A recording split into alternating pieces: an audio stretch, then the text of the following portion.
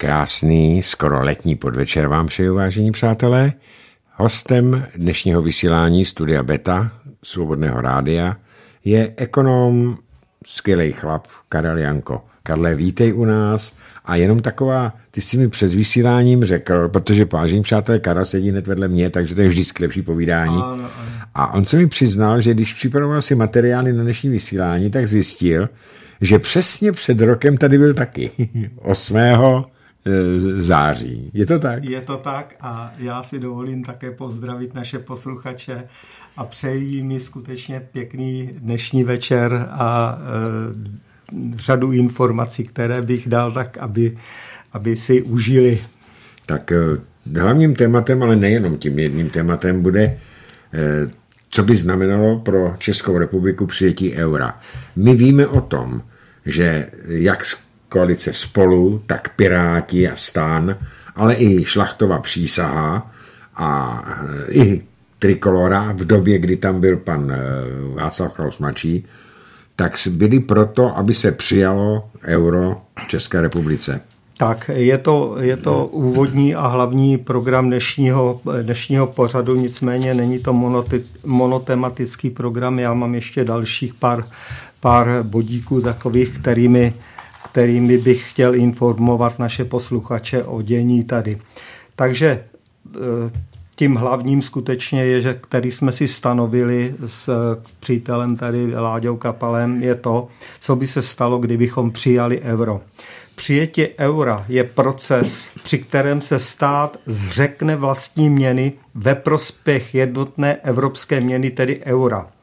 Může tomu tak být přijetím země do takzvané eurozóny, což je v podstatě nejčastější případ, nebo na základě mezinárodních dohod potom není přihlíženo tak přísně na ekonomické situaci země. K tomu se dostaneme ještě. Základní podmínkou pro vstup do eurozóny a přijetí eura jsou takzvaná Maastrichtská kritéria, která přesně stanoví, jaké ukazatele musí země dodržet v oblasti například stability měny či inflace. To se pochopitelně tomu nedivím, to se chce každá eh, ta, ten spolek ochránit před eh, nějakým rozvratem.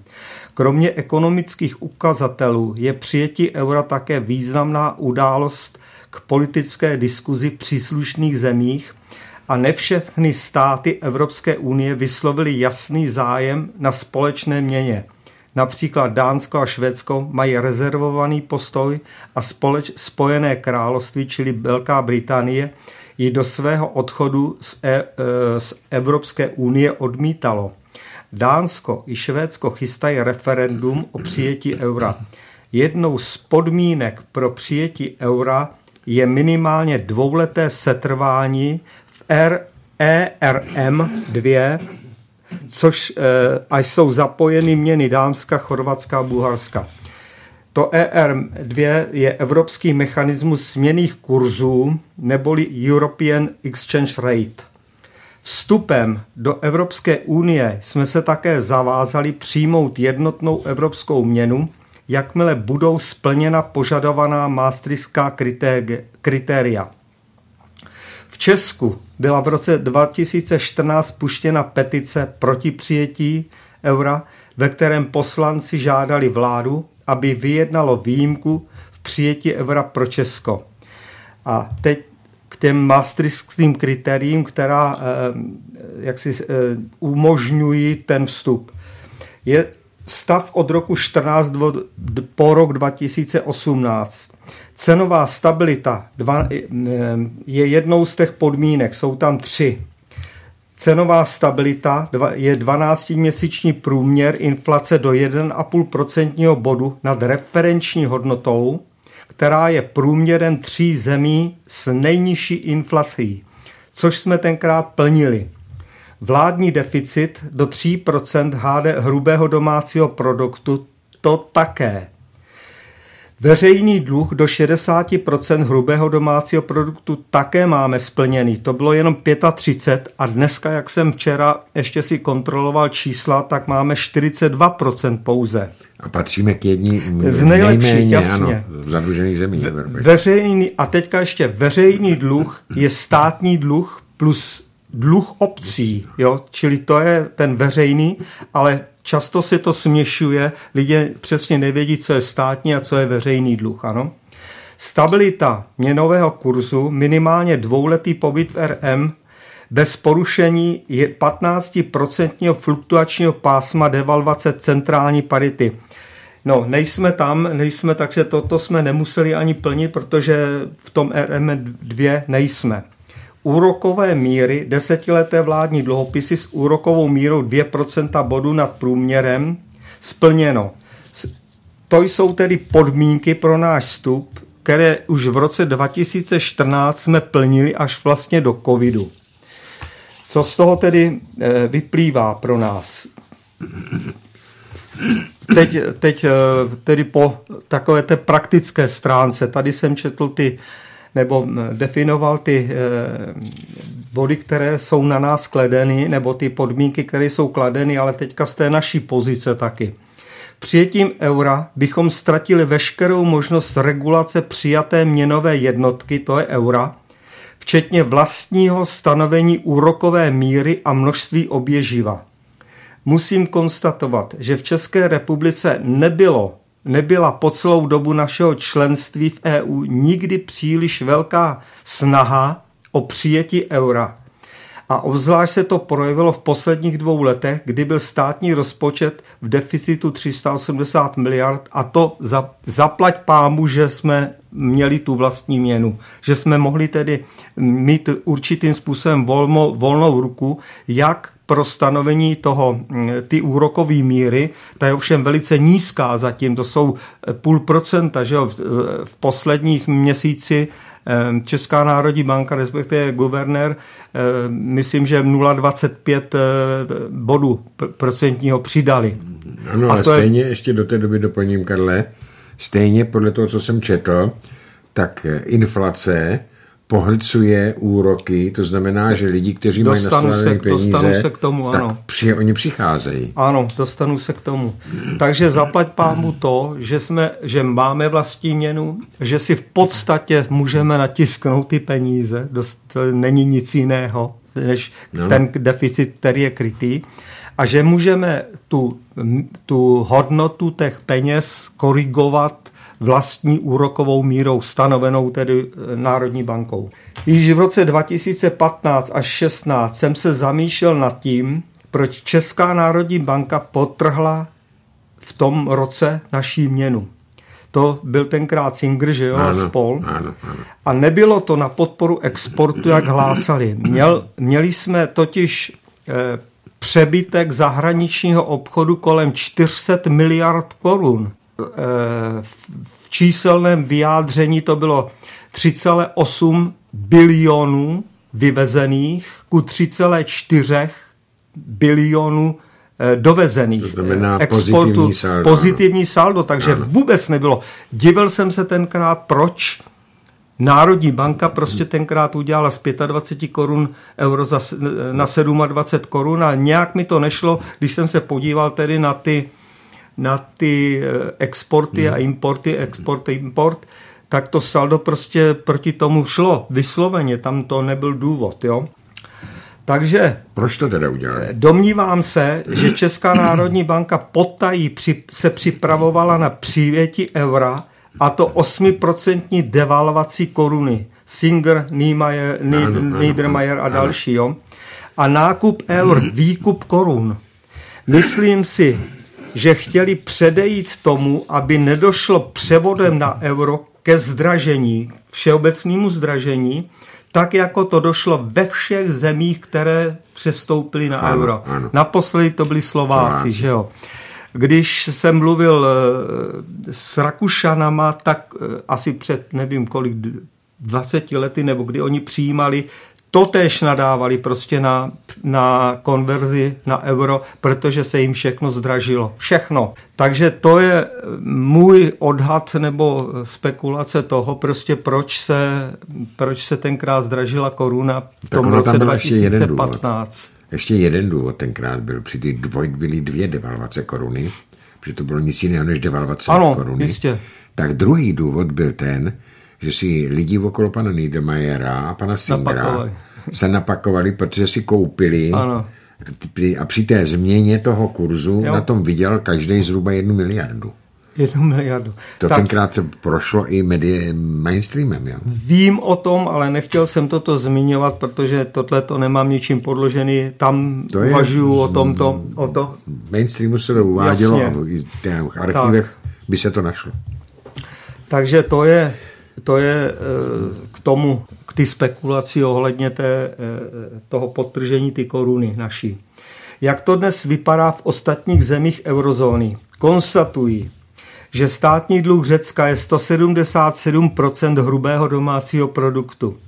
Itálie 133%, Portugalsko 120%, Belgie 106%, Velká Británie 86% hrubého domácího produktu, Německo 65% a Česká republika ze 36% vůči teda tomuto, protože to jsou, eh, to jsou data starší, předcovidový, tak ze 630% dnes máme 42% a v posledních letech, a to musím konstatovat, a to je proti všem, eh, všem těm eh, lžím, které hmm. se v podstatě kolem toho, koho z ODSky, pan Skopeček a tak dále říká, vláda státní dluh v letech 15 až 18 umořovala.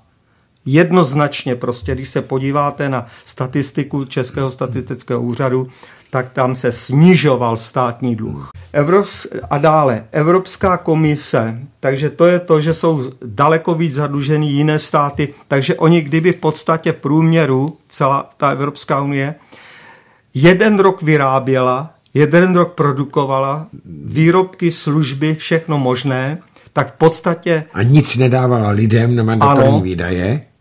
No vůbec, vůbec prostě. Nic. Vůbec. Tak jenom zaplásne ten svůj dluh, který tady leta a vznikal. Celý. A ne celé ještě. Takže to je, to je dost velká katastrofa. A je to katastrofa z toho důvodu, že Eh, Evropská komise dál nabízí půjčku 750 miliard eur. Jo. Z toho, a to přesně teďka nevím, protože jsem eh, chytil dvě protichůtné zprávy, 390 miliard, že má být vratná půjčka a 360 miliard nevratná, čili jako dar všem státům. Je to půjčka od Evropské centrální banky, ale přes Evropskou komisi. Jo?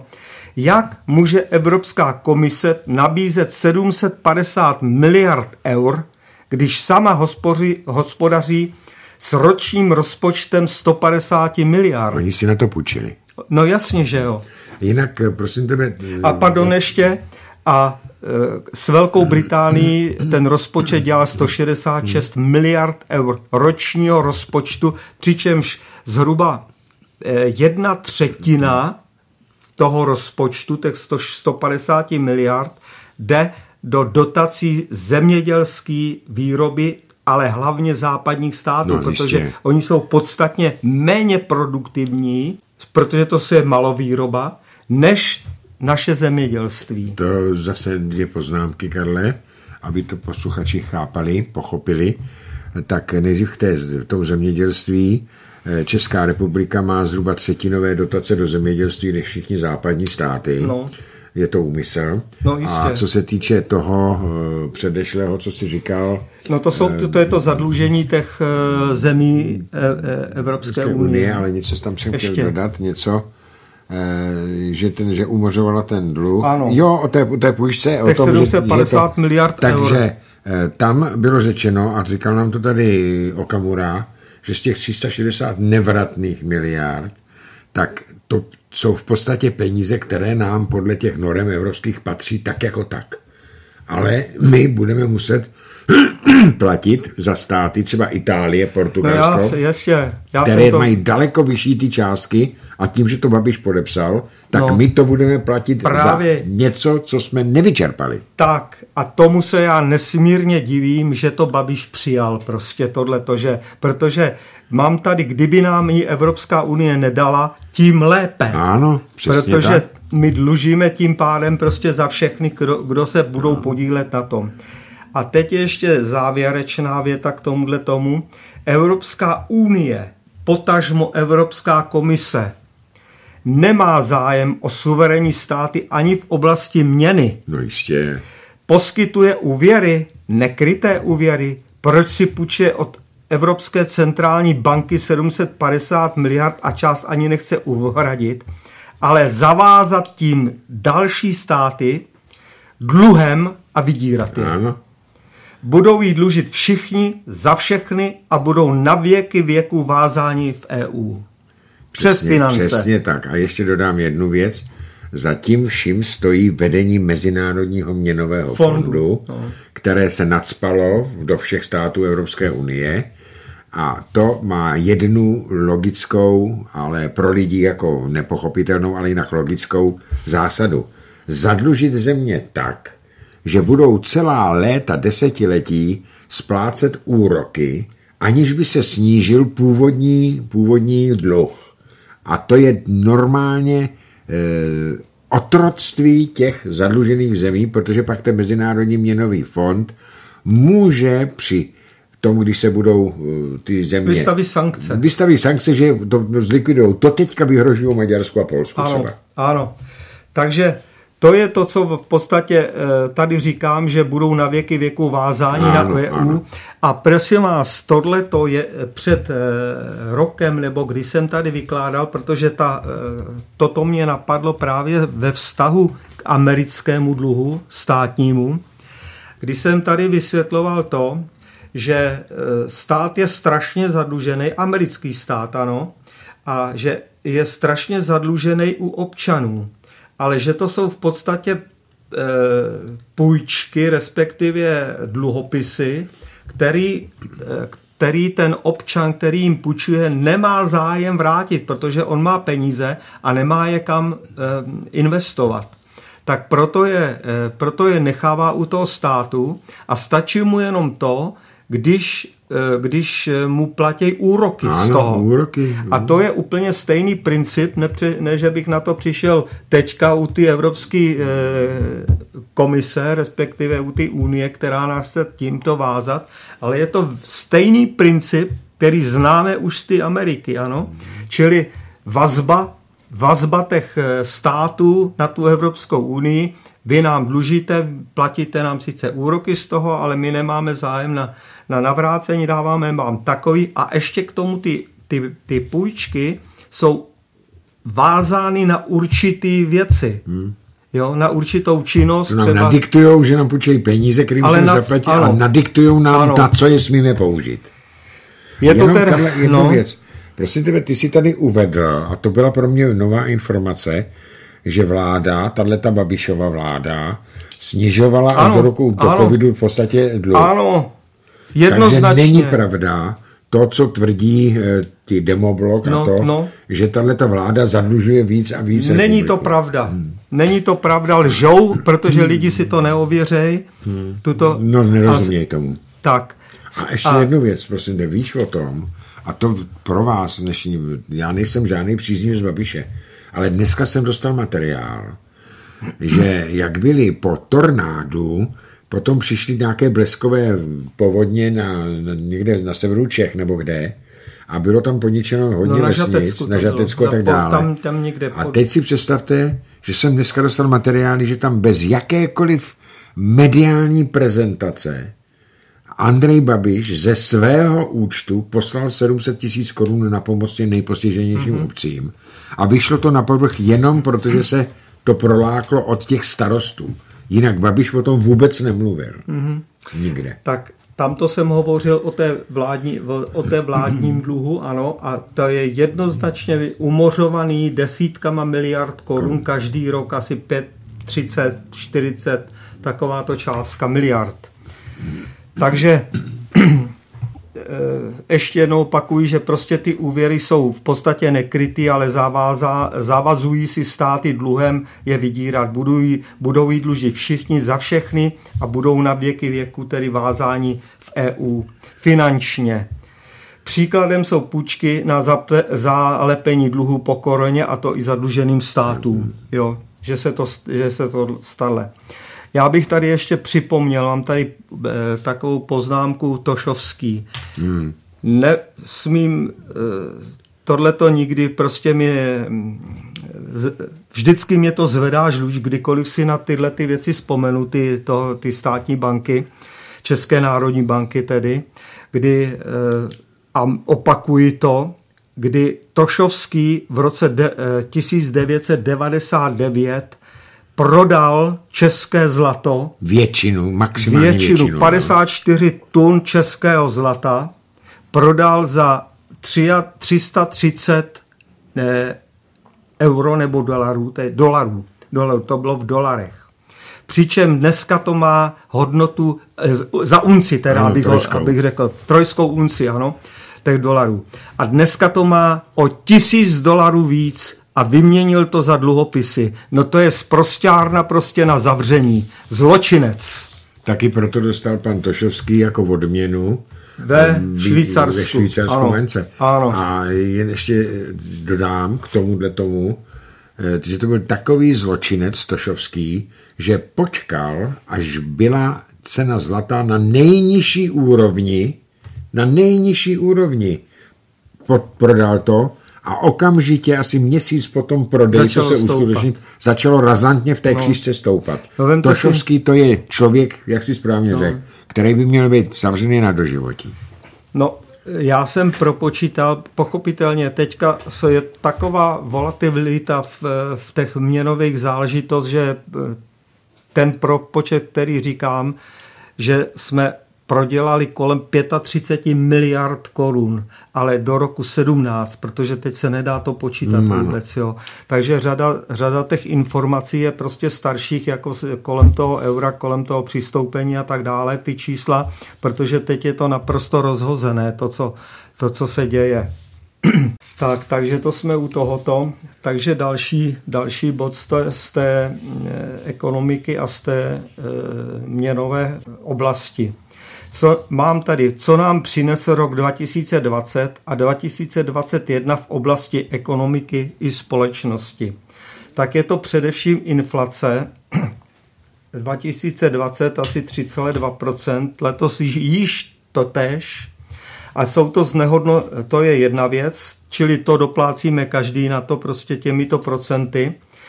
Eh, v platech, v ceně, už je to tady eh, projevuje silně v ceně zboží. Ano. Veškeré zboží, jde zboží. nahoru, hrozně moc. Ano. Z, jsou to znehodnocené úspory, no. které jsou na knížkách a, problematic, a posiluje to problematický a pofiderní nárůst mest, i když i kdy peníze nejsou kryté hmotou. A to je to, co se stalo, co sice každý přivítal prostě, s jásotem nebo s eh, potěšením, že dostával nějaký peníze na, v době ty I mě korony. potěšilo, že ano. nám zvednu, zvednuli důchody, ano.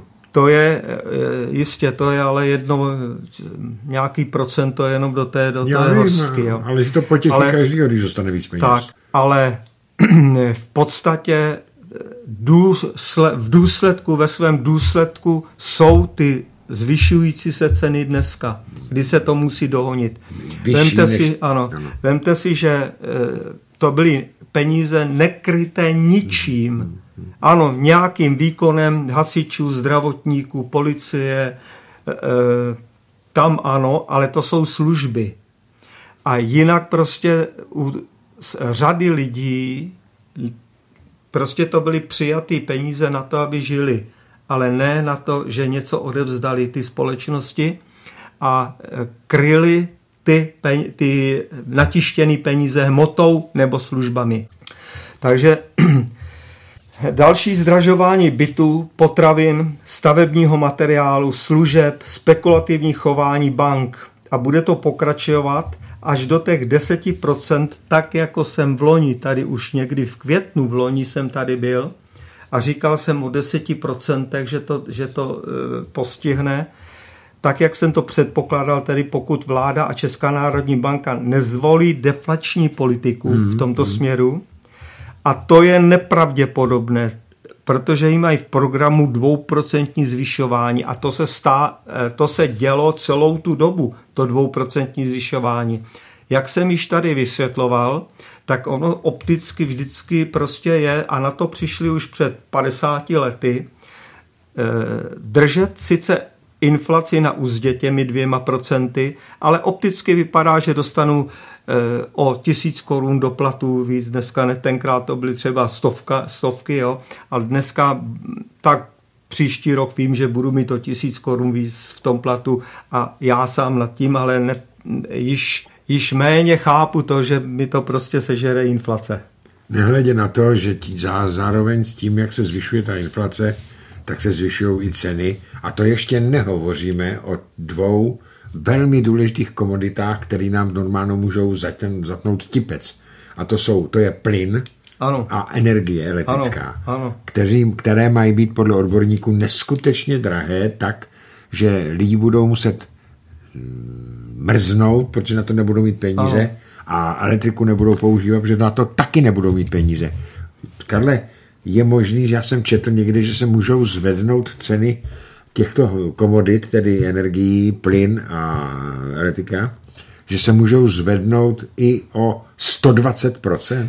Všechno je možné. Prostě v momentě, kdy prostě nebude a ta, e, to Německo zavřelo ty jaderné elektrárny jak hovada a čerpá v podstatě elektrickou energii od nás a při e, kšeft je kšeft prostě a e,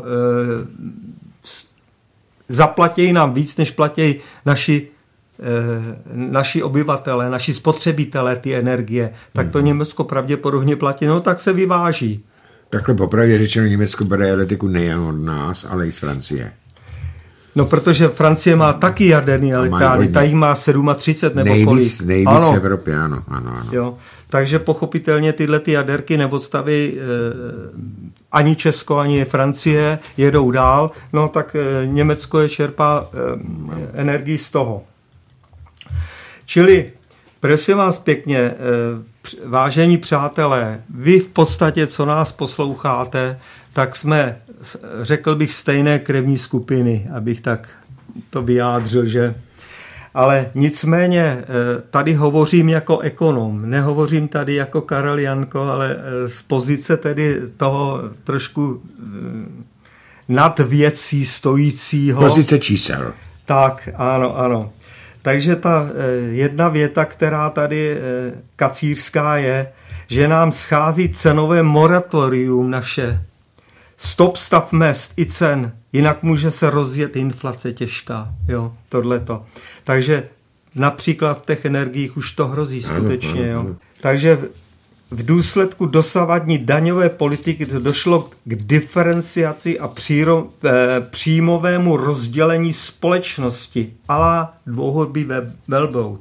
Ale řekl jsem si, že to tady sice uvedu, tuto větu, ale e, daně jako takové si no vezmeme někdy. Na příští a, pořad, ano, že si necháme na příští, ale ta je dost podstatná hmm, v tomhle hmm. ta věta, takže e, jenom ji tady uvádím. Je, je třeba, a k tomu ještě, k tomu kacířství, je třeba nastolit progresivní zdanění mest a i zisku, veškerých zisků. A na to budou e, naši pravověrní nezměrně křičet, to je mi jasné. Jo. Ale ono tam je taky ještě jedna věc, Karle. To zdanění progresivní by se mělo týkat především přestání vyvážení nezdaněných dividend. Vláďo, ty mě vždycky, ty mě vždycky přes, Já to nemám, nevím tohle. No samozřejmě. To, je Já to hned, na to, hned v další větě, prosím tě. Já se ještě vracím k tomu, mám na to zpracovaný velmi dobrý vzorec na to zdanění, velmi pružný a mám ho zpracovaný od roku 2010, hmm. kdy jsem ho už uváděl v televizi. No pochopitelně s velmi negativním eh, eh, odezvou momentální jako a protože to pochopitelně eh, najelo se na to 15% všichni, že jo. Ale je to zase lež. No jistě. Není to 15%, je to víc. Takže eh, tuto otázku si teda necháme na příště. Únik, ale nicméně úniky dle daní dle ministrině Schillerové činí 320 miliard jen od zahraničních řetězců a bank a dle mých propočtů dalších 80 miliard úniků od podnikových subjektů do daňových rájů. Tak to další věc. No, prostě e, zase si to nechám. Je to podle zákona 586-92 sbírky a e, budeme to projednávat, až se sem příště dostane. Jenom, že jsem se dočetl s hrůzou, že těch českých firm v daňových rájí jsou tisíce. Ano, ano, ano. Hmm. Takže prosím vás pěkně, dvě čísla.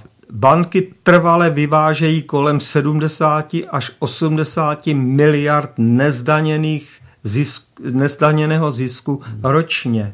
Ve formě dividend. Ano. ano. 28 miliard Volkswagenu. Hmm. E, a v roce 2009 vyvezly banky 100 miliard. Oni za 100 miliard ty tři hlavní banky koupili a za jeden rok si to vydělali. No, ano. Jo? No nehoráznost. Nehoráznost prostě tohleto eh, to stavět ke zdi.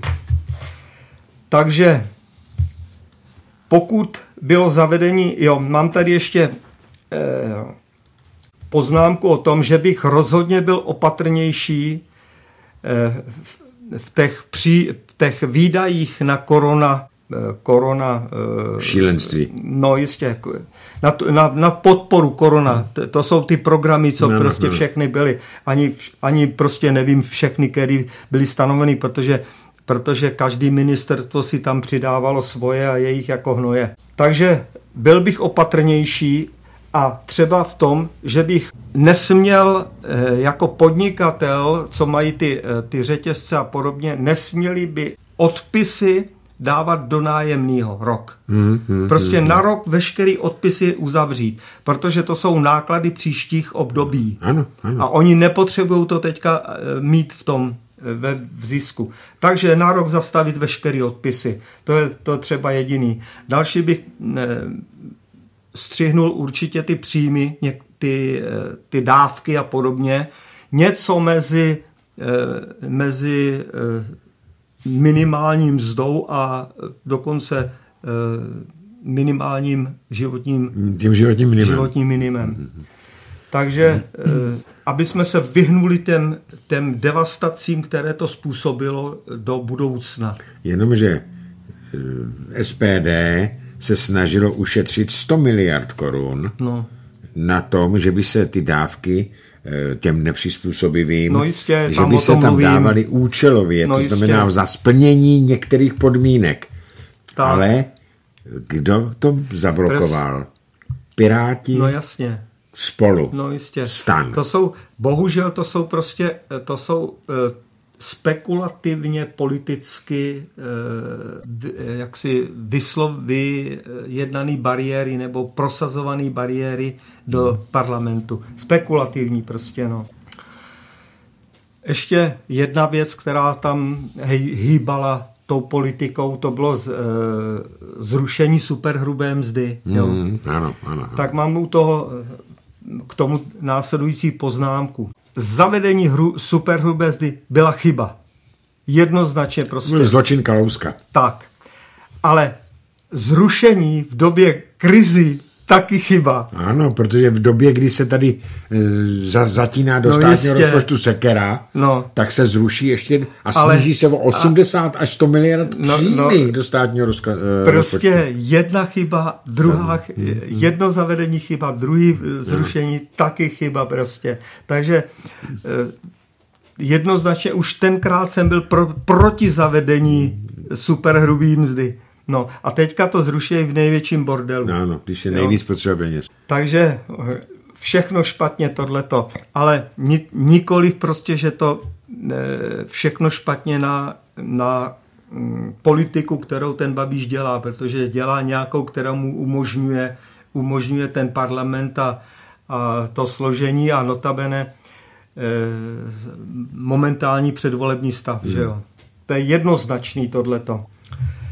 Zamýšlení, takže dostáváme se, dostávám se k dalšímu takovému bodu a to je zamýšlení nad sdíl, sdílenou ekonomikou a zeleným programem. Elektroauta, drahé byty, nedostatek pracovníků.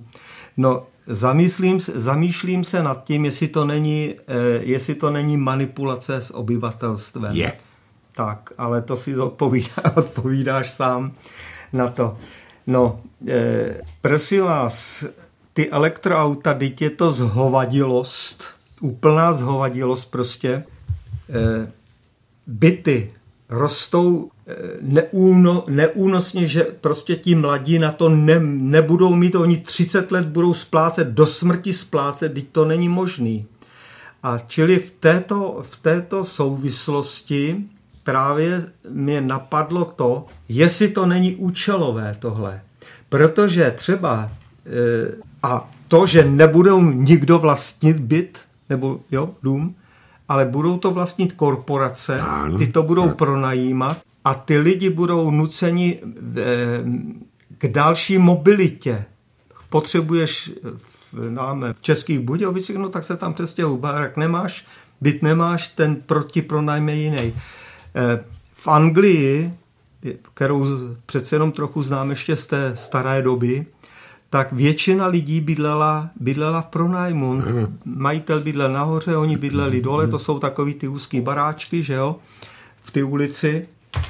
Zatím malá zahrádka, eh, takže ta mobilita těch pracovníků, a to oni potřebují, je daleko vyšší, když nebudou vlastnit tyto majetky. Proč se z Ostravy nestěhovalo? No ty lidi vlastnili byty. Mm a neměli tam práci, pr- prodá byt za, je, za nějakou částku, nechci říkat teďka za 100 tisíc nebo za milion, ale on za to nekoupí nic tady.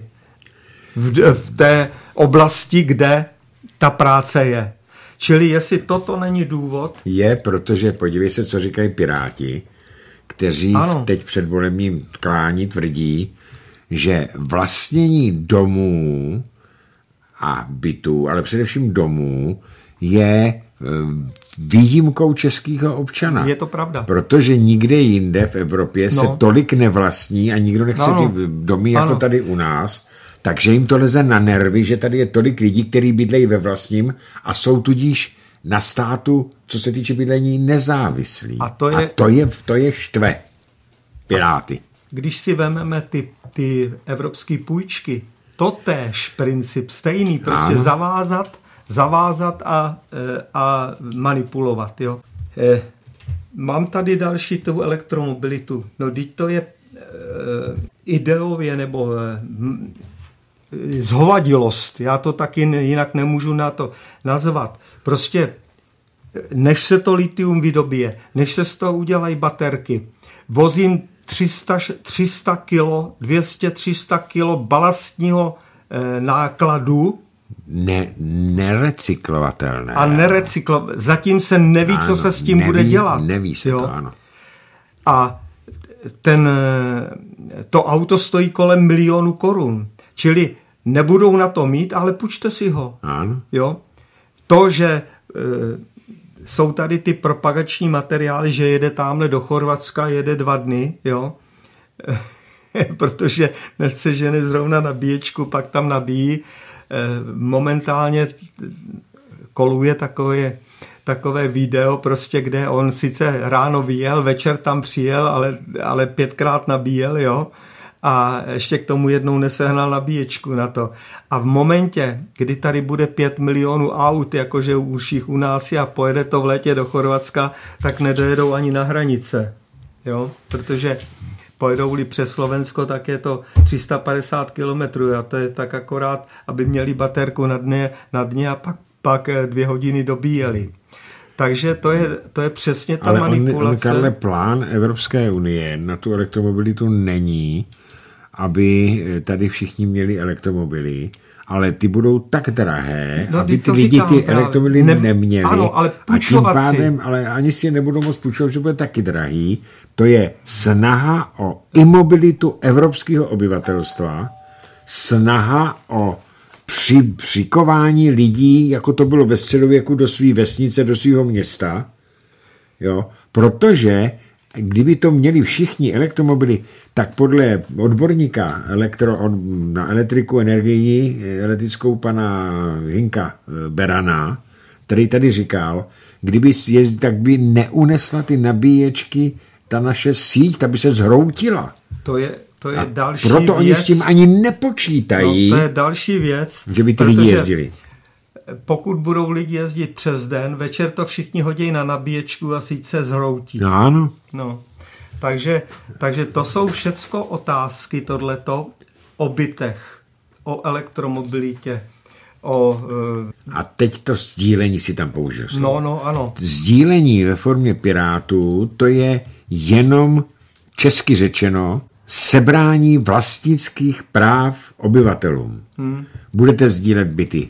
Nebudete mít barák, protože nebudete mít na ty šílený daně, koupí to Ano. korporace, Ano. ale zůstaň si tam bydlet. No jistě. Ale budeš nám platit Bude to, nájem. no to je, to je úplně stejný princip, jako jsem říkal o Ano. těch, o těch eh, půjčkách Ano, evropských. přesně, přesně úplně stejný. stejný systém. Nad tím letím jsem se zamýšlel, prostě proč, proč tak fedrujou tu elektromobilitu, jo?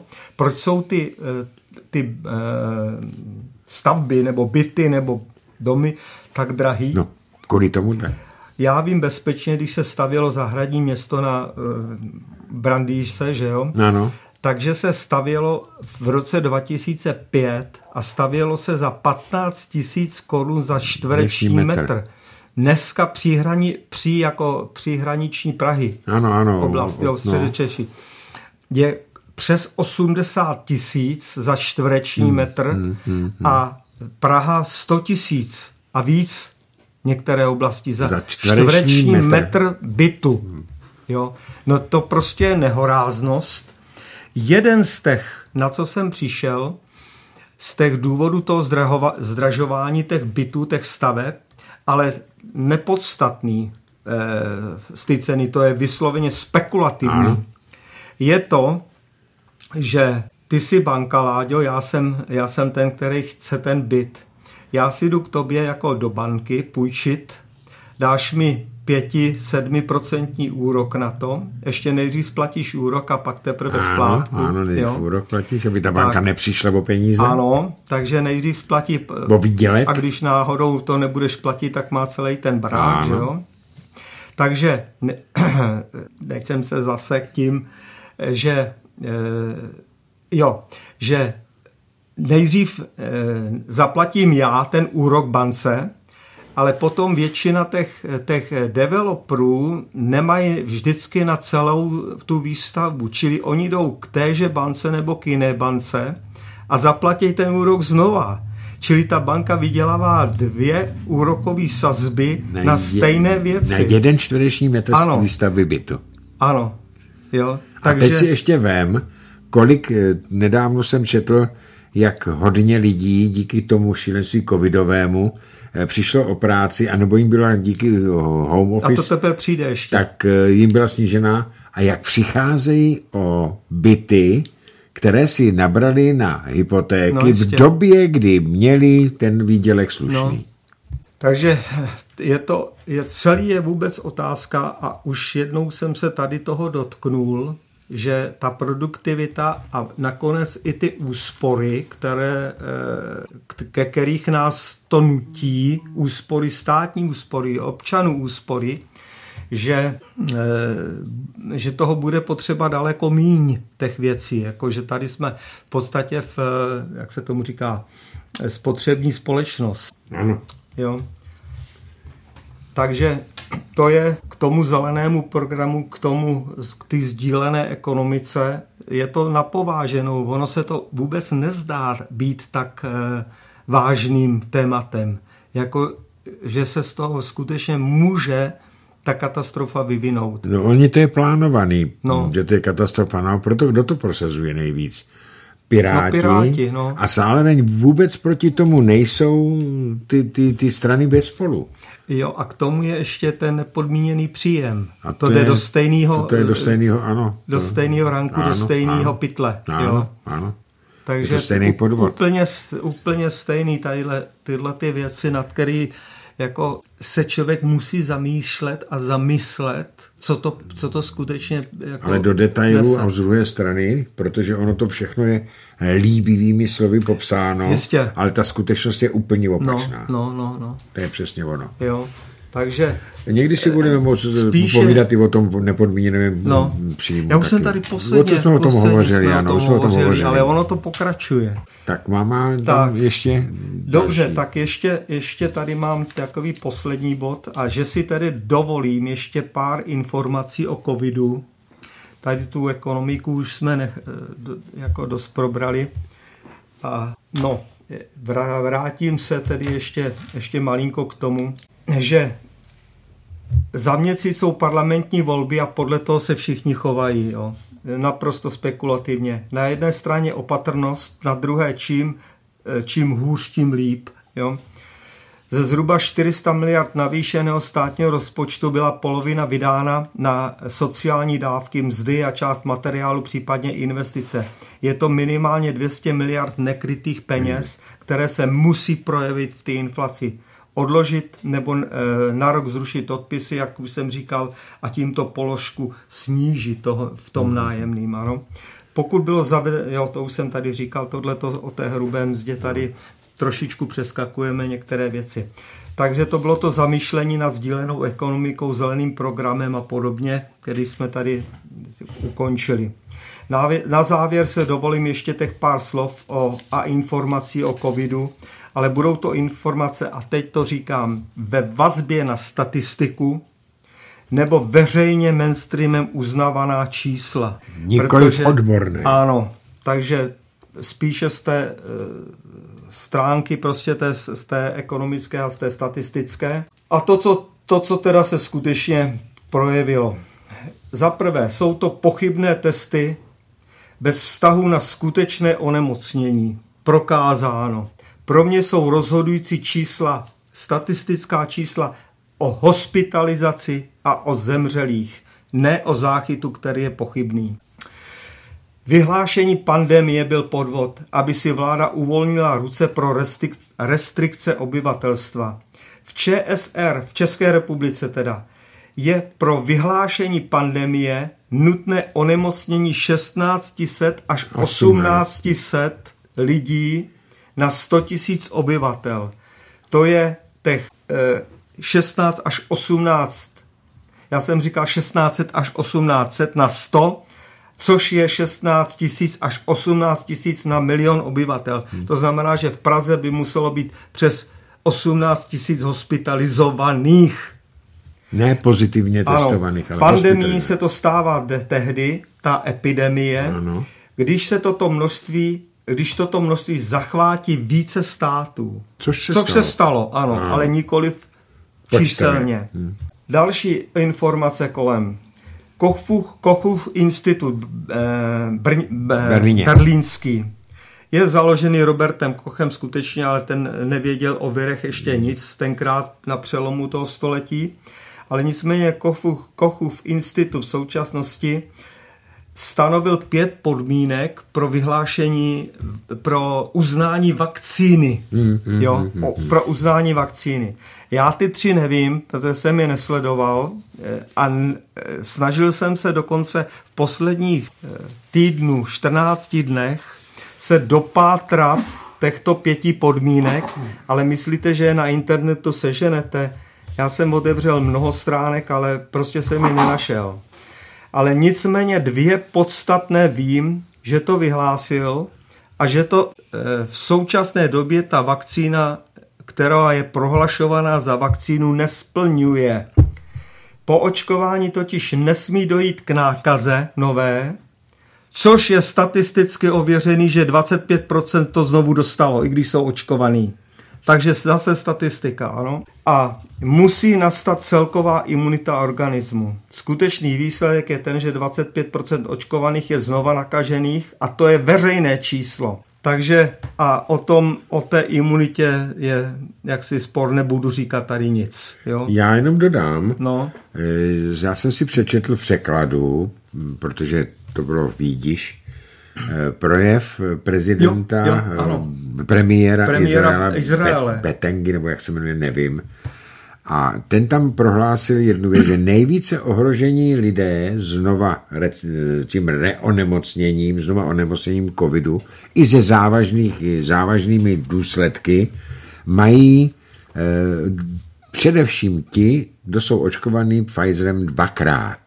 Aha. A mají totiž šestkrát až třináctkrát vyšší šanci být znova nakažení, mm-hmm. protože oni totiž zároveň jsou nositeli toho viru a šíří ho ten vir. Já... Dokonce některé čísla Sonja zase četla až 18krát, jo? Hmm. Takže větší. Já jsem slyšel tohle. Ale tady je nej, největší svinstvo, Karle, je to, že ten vakcína není vakcína. E, zase mi předbíháš. Že... O, očkování, další, další takové e, informační bodí očkování obecně vakcínou ano, ale... Vakcínou. Ale čím se očkuje? Není to vakcína, ale geneticky upravená látka obohacená oxidem, jedovatým oxidem grafénu. grafénu. Přesně jo. tak, ano. Takže také veřejná informace. Jo. A 25% znova nadkažených je veřejná statistická informace. Jo. A k tomuto ještě ten paradox, který je, že dodneska nejsou v Evropě schválené geneticky upravené zemědělské plodiny, ale, ale očkuje se... Očkuje se geneticky upravenou látkou. Přiro- a další statistická informace je, že, ge- že přirozená, přirozeně získaná imunita je podstatně lepší a účinnější a déle trvající než očkování. Také statistika. A teď mi vysvětlí Karle jednu věc. Já jsem se ptal lékaře, co má e, za úžel vakcinace. Vytvoření protilátek v dostatečném množství, aby ta nemoc nepropukla, aby se zachránila. No, to je ten druhý bod. To je ten druhý bod. Kochova institutu. A na druhé straně, proč není naším státem uznávaná přirozená imunita, no, jasně, kterou si ano. hovořil, to znamená množství těch ano. látek, no. Které lidi získají po prodělání. No, můžeme o tom spekulovat, že jo, proč, protože je to kšeft velký. Kšeft, no, nic jiného. A druhá věc, zaručí někdo, to se tě ptám jako, jako, jako člověka, který umí mm, nakladat s čísly, může někdo zaručit eh, statisticky, já nevím, jako predikovat, co to všechno za nějaký rok, dva ta látka s člověkem udělá? No, nemůže, protože... Nikdo to no, neví. Jistě, no, protože to není vyzkoušený, že jo? A není to ani poku, na uč, určitém vzorku lidí statisticky není. vyzkoušené. Jistě. A navíc, já jsem se dočetl, že sam firma Pfizer sama uvedla, že klinické zkoušky, zkoušky no. na výjimku povolené vakcinace Pfizer, BioNTech, skončí až v roce 2023. Tak jsem si z toho logicky vyvodil, že všichni lidé, kteří se nechávají téměř povinně očkovat Pfizerem, takže jsou součástí klinické studie a jsou to pokusní králíci. Já jsem se zařekl, že to, co jak budu komentovat čísla, ano, prosím pěkně, i když víš dobře, že mám dostatečné zdroje. Já vím, no. no. Jo, dostatečné zdroje, bohaté zdroje, ale, ale tady je, to, je to kšeft, nebudu, jistě, nebudu vystupovat, prostě tady je určitý, jsou tady určitá fakta, určitá čísla, ano, s těmi čísly operu, až tady budeš mít, eh, nevím, někoho, tak, tak jsme o otázky, jaká opatření by měla vláda za covid dělat a také co udělala a nedělala. No je toho řada věc, věcí prostě sám nedokážu úplně komplexně posoudit po té e, celkové stránce, ale tvrdím jedno a je to, je to jeden můj článek na parlamentních listech, kte, ve kterém prostě rozebírám tuto otázku a to, že, že covid následky tady toho, těch onemocnění, že má ten COVID tři roviny. Ekonomickou, tedy především zdravotní, zdravotnickou, ekonomickou a sociální. A to je komplex. Hmm. A u nás se v podstatě ta banda, co, co prostě je v tom mesu, nebo jak se jmenuje ta, ta, ten no, orgán. No, no, tam jsou lidi, vládní. kteří vůbec nejsou lékaři třeba. Jo, jo eh, takže podstatě jenom eh, upřednostňují tu svoji otázku a eh, jak se v medicíně říká vše lege artis. A co není lege artis, tak oni neuznávají. Je to nový eh, případ, nová stojíme před novou tedy situací, která prostě nejde vždycky ře, řešit lege artist. Tohle to by prostě se zavřelo, celá společnost zavřela a bylo by po covidu. Ano, uzavřete nás do sklepu, jo, nakupte si na dva měsíce do těch sklepů a bude vyřešený covid, ale to nejde prostě. Ta stránka Eh, má tu, tu eh, ekonomickou, tady jsme utrpěli nějakých 400 miliard a já tvrdím, že celkově kolem jedné, jednoho bilionu korun, už jsem to tady říkal, hmm. že, to, že to eh, z hlediska nejenom daňového těch 400 miliard, ale že to přinese bilion v průběhu těch dvou let celkové ztráty no. na hrubým domácím produktu, to na si, daních. To si říkal, ano. Ano, je to a odhadoval jsem to někdy loni v květnu, nebo když jsem to tady byl. Já si to, to je jedno, když tak to září, a to vím přesně toto datum, že? A e, takže to je ta ekonomická stránka věci, ale tady je ta sociální. Podívejte se lidi, co to udělalo s dětskama, že byli zavřený doma. To je největší tragédie tohleto, jo? Takže já jsem četl... ta sociální stránka patří k tomu celkovému hodnocení patří. toho, protože se to obráží na tom. No. Já jsem třeba četl, že ty domácí výuka, že, ty, že to nemůže se samozřejmě, to se všichni věděli, ale že ty učitelé nečekali, že to bude tak tragicky. Tragicky.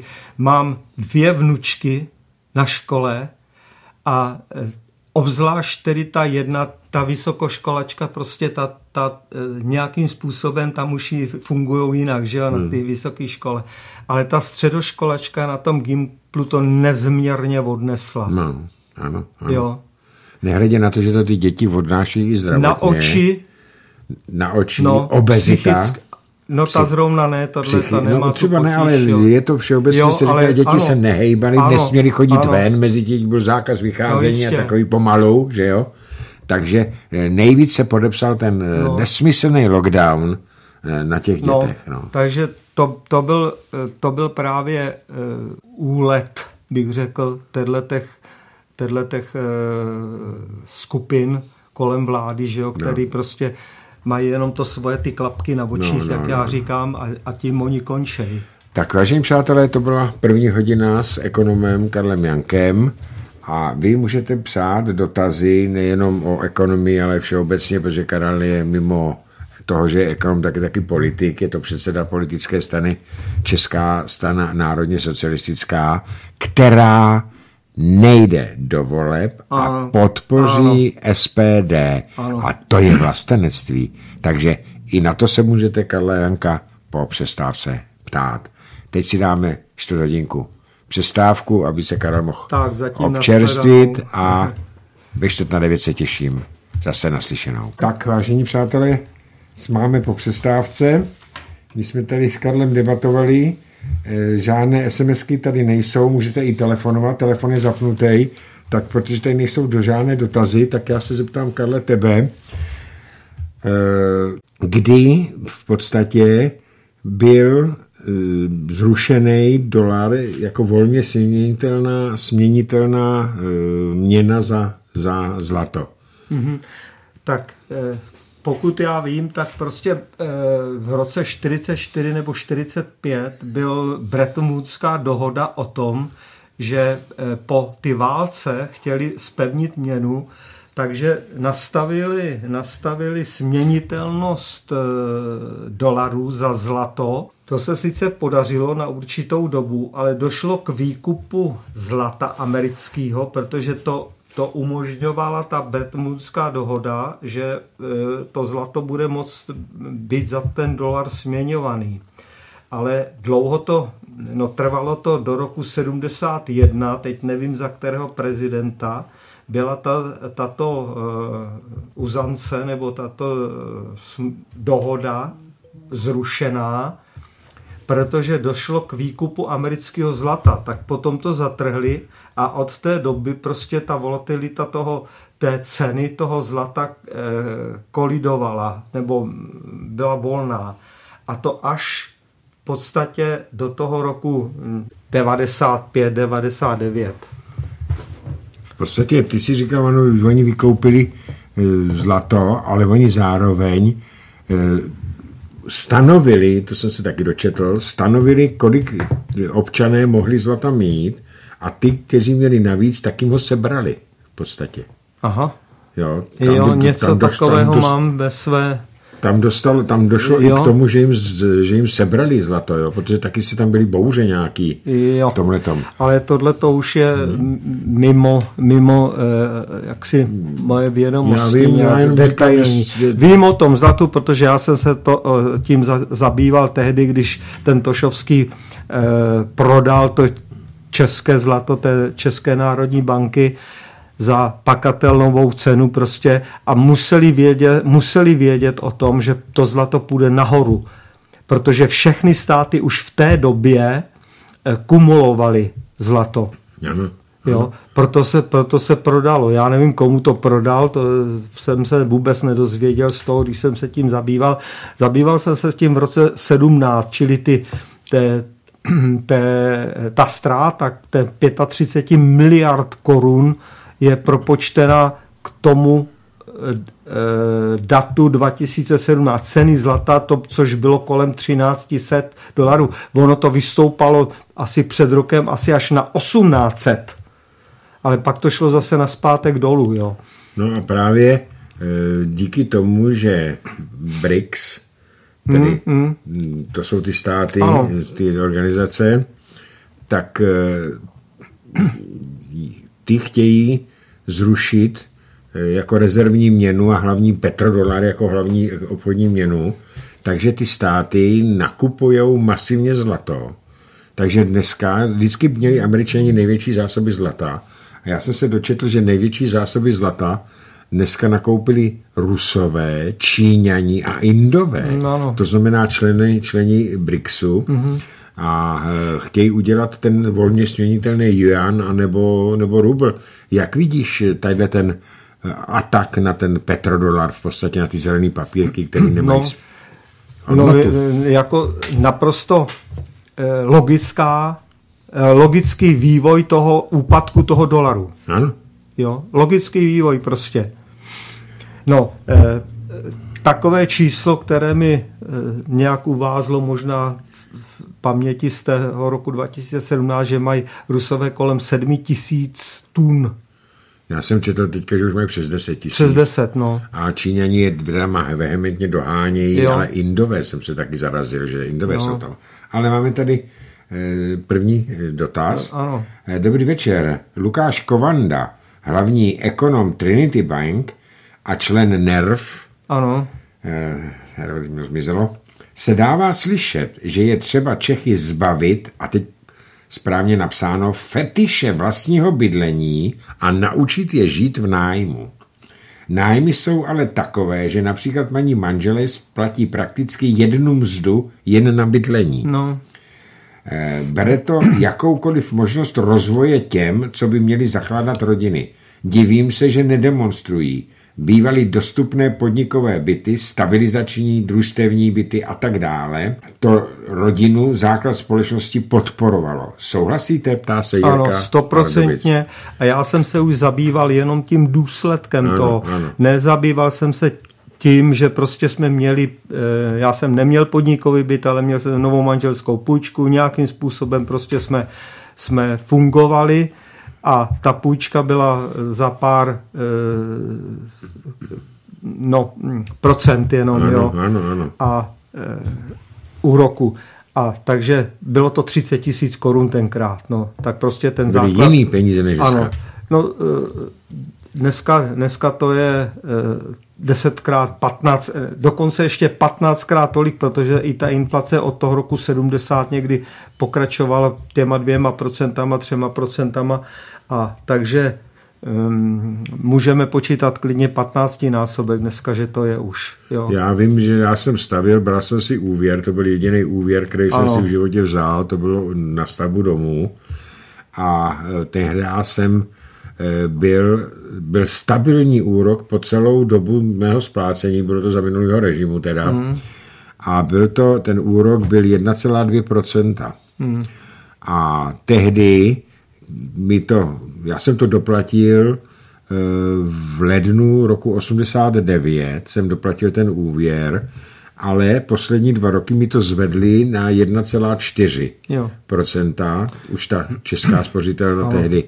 Ale furt to bylo dobrý, než teďka, eh, že inflace se držela docela nízko, jo, takže si každý mohl za normální plat pořídit vlastní bydlení. A co píše Jirka Spardovic? Já se vrátím k tomuto no právě. dotazu, právě trošku jsme odbočili. Já už jsem se zabýval jenom tím důsledkem toho, hmm. ano, nikoli prostě tím základem eh, toho půjčování, toho tam jsem narazil akorát, akorát na ty eh, ceny těch metrů čtverečních, za který na, se stavělo. Na tu ekonomiku. No. Na tu ekonomiku.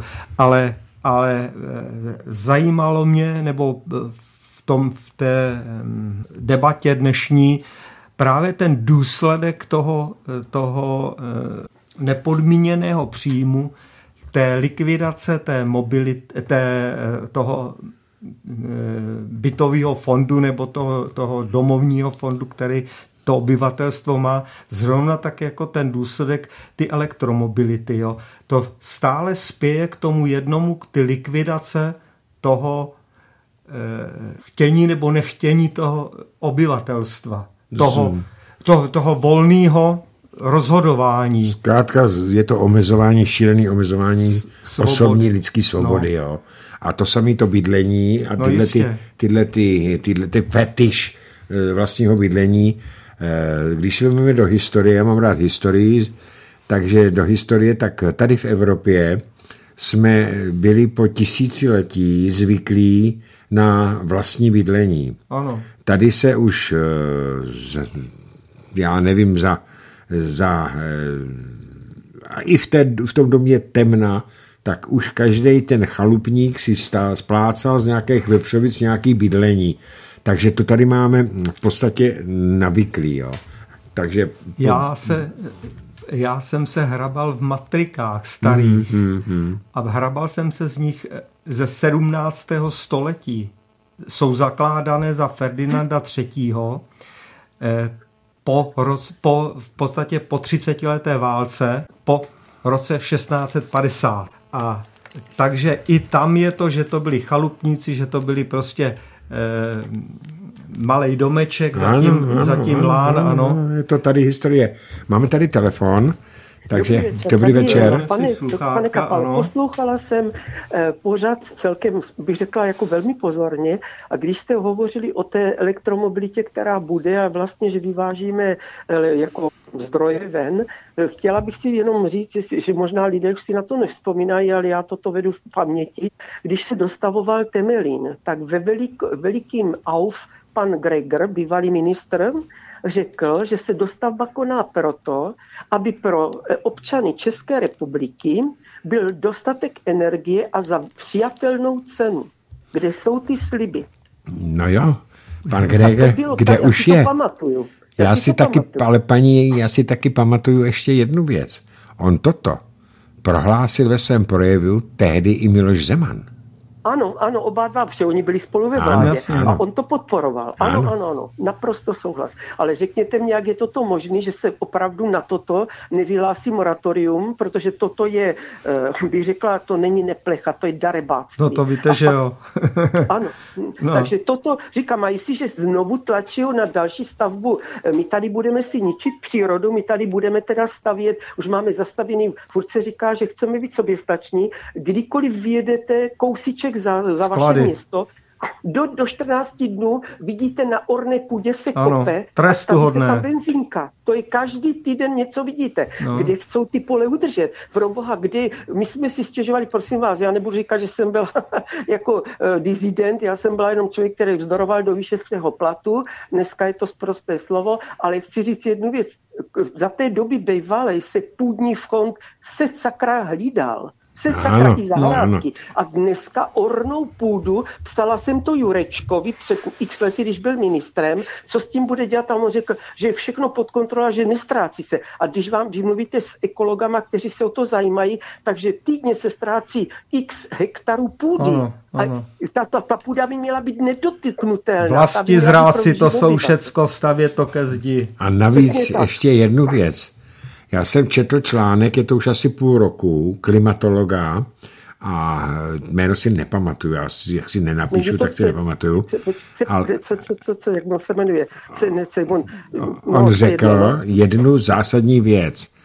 Ty klimatické změny cyklicky chodí na země kouli opakovaně, takže ano. to, co se teď děje, to strašení s globálním oteplováním není nic, nic jiného než cyklické opakování se a ano, že ano, ano. výnosnost orné půdy v následujících 30 až 50 letech, tam napsal, se sníží na 60 a až někdy 50% a že je trestuhodné, že se zbavujeme orné půdy tím, Přesně že tam tak. stavějí tyhle ty krabice skladové ano, ano, a ano. pak nám bude strašně moc chybět, protože se národ eh, neuživí a nelze předpokládat, že nám bude ten ostatní svět, který to prostě taky dodávat ty potraviny. Každý si to nechá pro sebe. Je to zločin.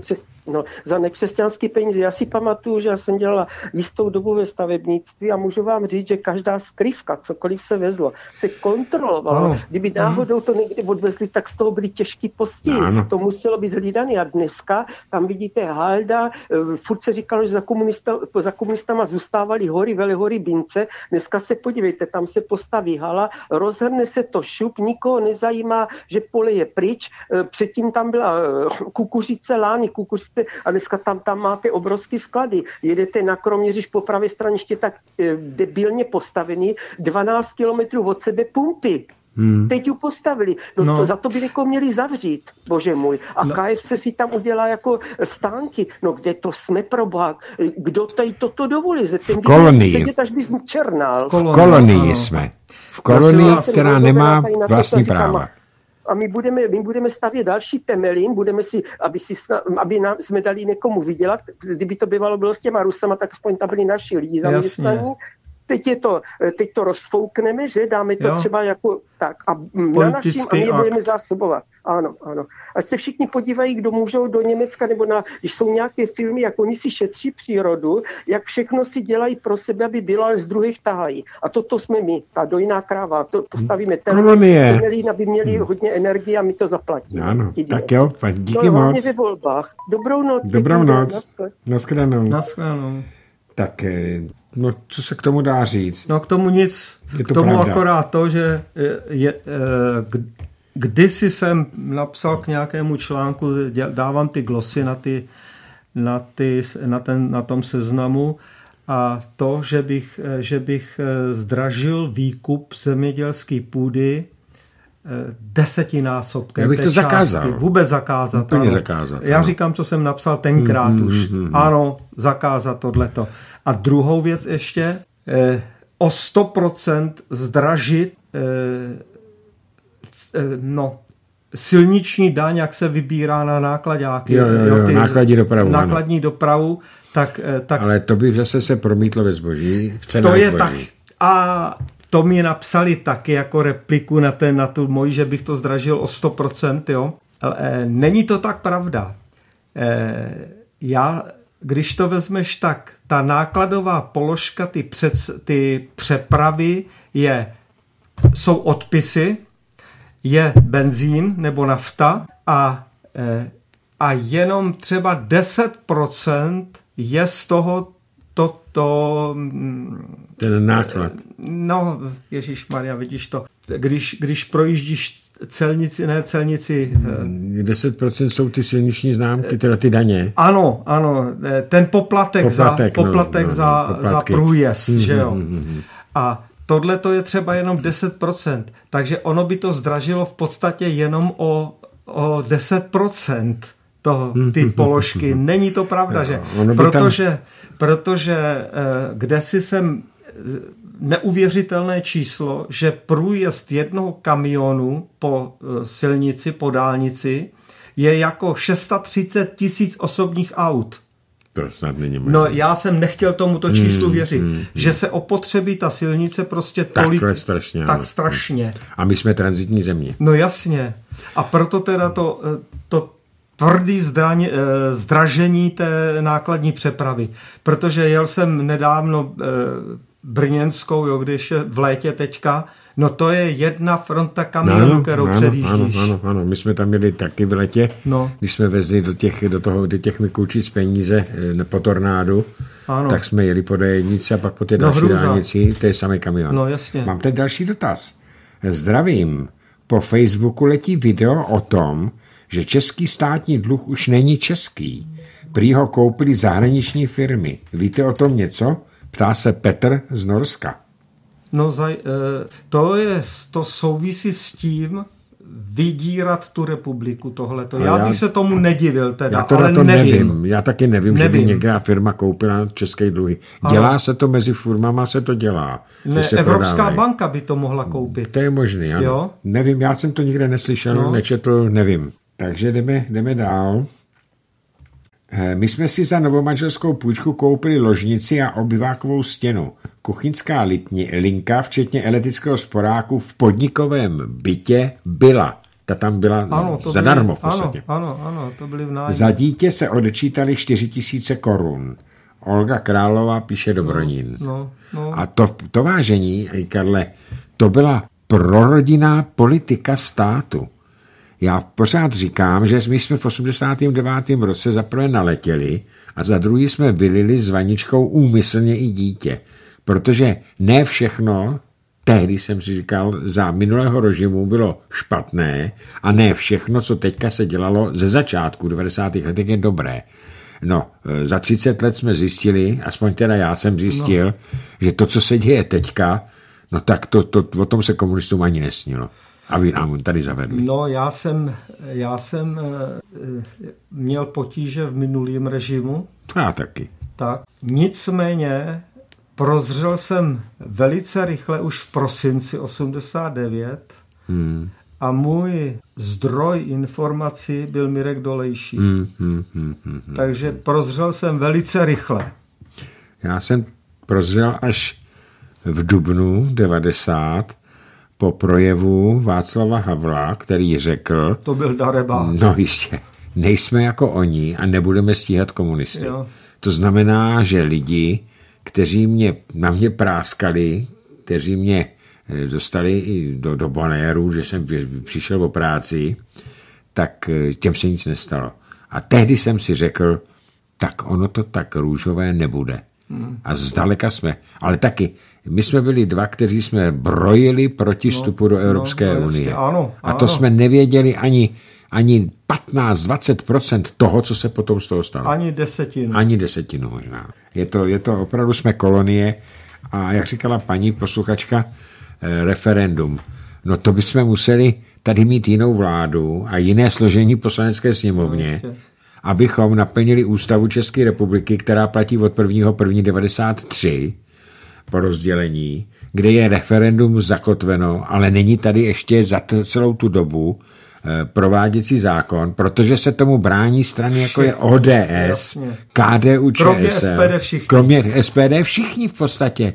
To je to ano. No. Ale eh, to, oni se tomu bránili i tehdy. I tehdy se tomu bránili.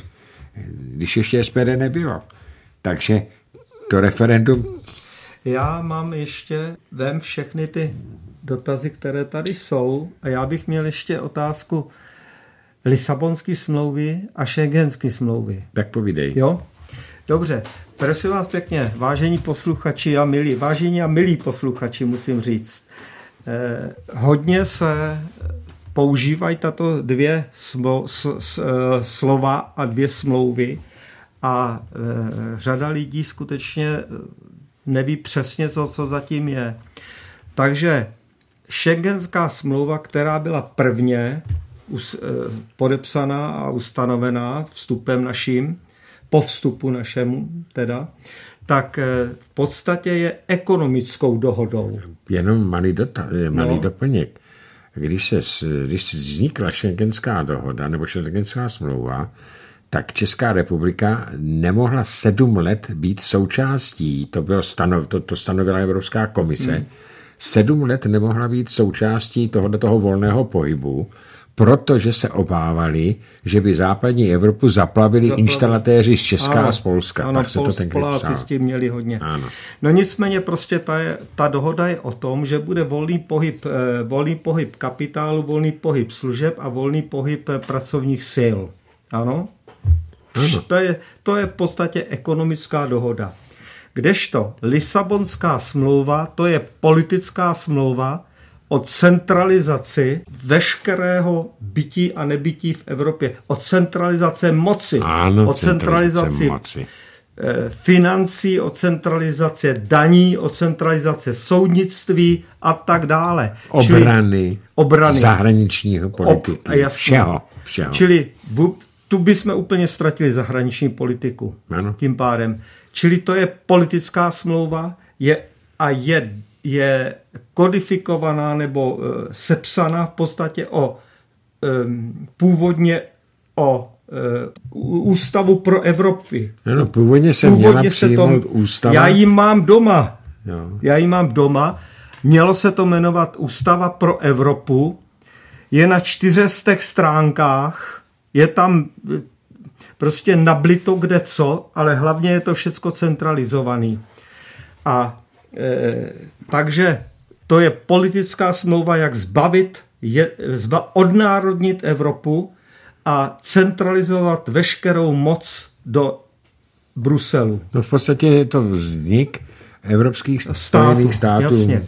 A, a ještě protože věc, neprošla... Evropská ústava neprošla, Karle, proto, že ještě tehdy se snažili být demokraty ano, a bylo tam právo referendum, veto a ve v Irsku a v Holandsku udělali referendum, v Nizozemsku a ano, neprošlo to, ano. tak se ta Lisabonská, teda ta tak ústava pro od... Evropu a tam změnili vypadla. to, že my ministři se stali komisařema.